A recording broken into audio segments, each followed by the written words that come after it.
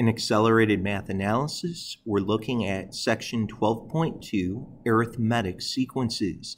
Take a look at the top of the screen here. We could have a sequence, a numerical pattern of 4, 7, 10, 13. If I were to ask kids to guess what comes next, probably most kids would correctly say that they would think 16 would be occurring as a follow up, and it would.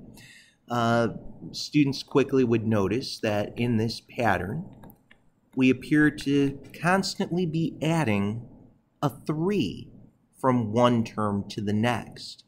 Uh, such a, a pattern is known as an arithmetic sequence. Now, ironically, what we're going to talk about is the difference, the subtraction between successive terms.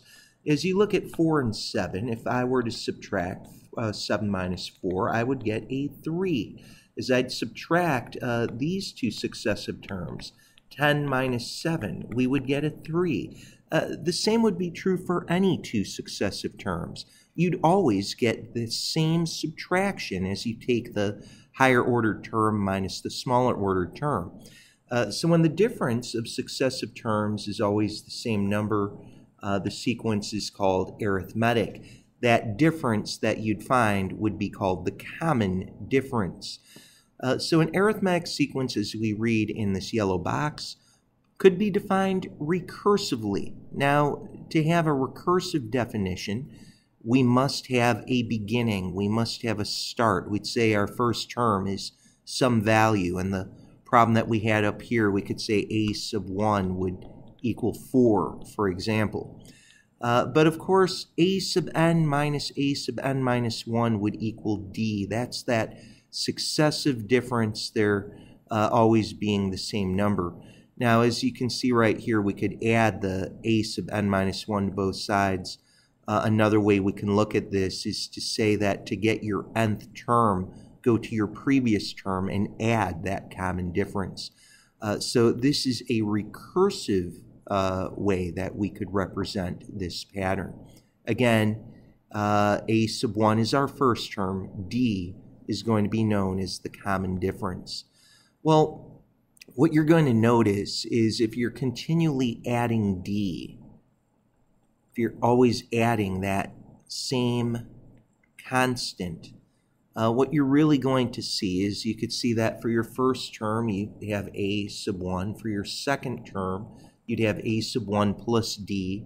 Uh, your third term, well, you'd add another d. You just continue to add that, so now you'd have 2d. To get to your fourth term, you'd add a d yet again, and 2d plus 1d is 3d. Uh, so you can begin to pick up a pattern. Uh, you might guess what that fifth term would be. The fifth term is you add a d, you'd have a sub 1 plus, well, add a d, you'd now have 4d. Hopefully you can see the pattern that we're talking about. As we're in the fifth term, we are adding four common differences. Uh, obviously, we didn't add a common difference the first time for our first term, uh, but uh, we add one for each successive. So what we're seeing is plain and simply this. Uh, and here's your explicit formula. This is uh, super, super, super infor- uh, important. A sub n to get your nth term in the, the pattern. You'll always take your first term, a sub 1, plus n minus 1 times your common difference. Look, if n was your fifth term, notice that you had n minus 1 times d. That pattern holds all the way through. Uh, so how is that helpful? We'll take a look very quickly at, at this arithmetic sequence. We have 2, 6, 10, 14, and then 18. It doesn't take much to see that we are successfully adding 4 each time. Uh, that means that our d would be 4. It also is a reminder that our first term, of course, is a 2. Uh, but here's our first term, our second term, our third term, and so forth. Uh, we're asked, however, to jump way, way ahead to the 41st term. So, using this explicit formula, we're going to be able to do that pretty quickly. We're going to say, look, n would have to be 41. So we'll have a sub 41. My first term we already saw was a 2. Uh, and then we'd have 41 minus 1. Well, that's going to be a 40. Times our common difference. Our common difference is a 4. So that's 2 plus a 40 multiplied to 4. Well, we know that 4 times 40 is 160. And then we add a 2. And without having to add the 4 repeatedly, we can say, hey, we know at our 41st term the value will be 162. Well, not all of the problems in this section are going to be simply find a specified term. Sometimes you might be given some terms in an arithmetic sequence and you'll be asked to actually unlock what that sequence truly is looking like. Take a look at, at number two for an example. You might be told that an eighth term of an arithmetic sequence is 75 and the 20th term is 39. You'll be asked then to find the first term, the common difference, and a, a general nth term. Well, here's what's going on. We will, no doubt, go back to this very, very important formula, this explicit formula. And we can say we know what our eighth term is. So n is equal to 8. Now, if n is equal to 8, we'll know that a sub 8 is 75. So my eighth term is 75. I don't know my first term. But if n is 8, n minus 1 is going to be a 7. So I'll have 75 is equal to a sub 1 plus 7d. At first glance, this doesn't seem to be helpful, but there's more to the story. I also know what the 20th term is. So I'm going to come over here and rewrite that explicit formula and I'm going to realize that my 20th term, when n is equal to 20, that 20th term, I'm told, is 39. So I've got 39 over here. I still don't know my first term. But if n is equal to 20, 20 minus 1 is going to be 19. So now I have 39 is equal to a sub 1 plus 19d. Here's the neat part. At this point, we now have really a system of equations. We have this equation right here, the 75 equals A1 plus 7D. We also have this 39 equals A sub 1 plus 19D. Now, what we can do is either use elimination or substitution. I'm going to opt for elimination because I think we can do this very, very fast. I'm going to recopy that second equation, but the first equation that I'm working with, I'm going to multiply that by negative 1.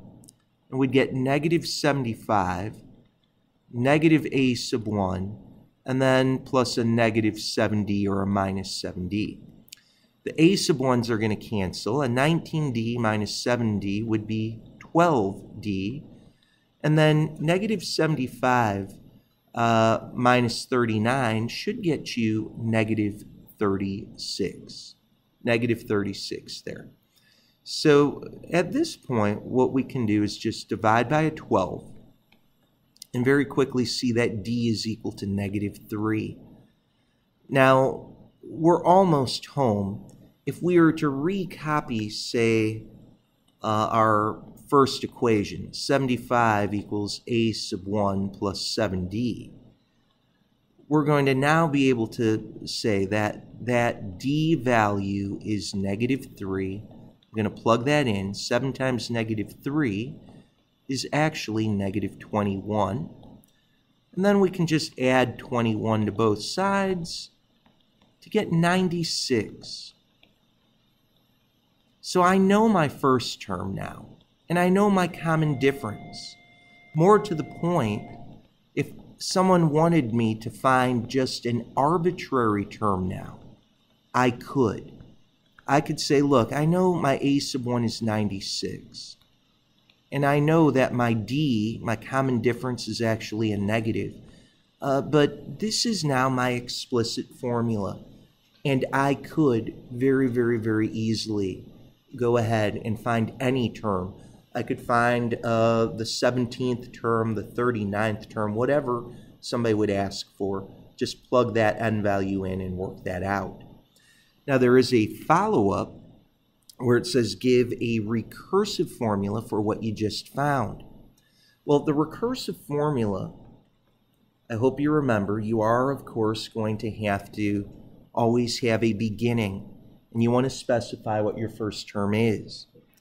But then to get to your nth term, you want to go to the previous term, and you're going to add to that your common difference. Uh, and uh, that right there would be the recursive formula for the sequence. Okay, as we go to the back, we'll at least get started with the idea that if we had such an arithmetic sequence, we might have n terms written out, but perhaps we'd like to add them. This is known as a series, as I mentioned the other day. And a series is just adding up uh, a specified number of terms in the sequence. So uh, you've got what we had before, and there are actually two different basic formulas. This sigma, of course, means add up, but this S sub n is the sum up to that number. So S sub n, uh, really one very, very useful formula is right here, and that's the uh, n over 2 times a sub 1 plus a sub n. Uh, because of the briefness of the video, I'm not going to prove this right here, uh, but Carl Friedrich Gauss, even as a young boy, was able to come up with this formula. It's absolutely a, a real clever way to, to derive this sum. Uh, but it's n over 2 multiply that to a sub 1 plus a sub n. Now, by the way, if you knew that, if you know that to be true, you could also say, now wait a minute, a sub n, we saw earlier, a sub n, as we had done time and time and time again on the front page, a sub n was this formula right here.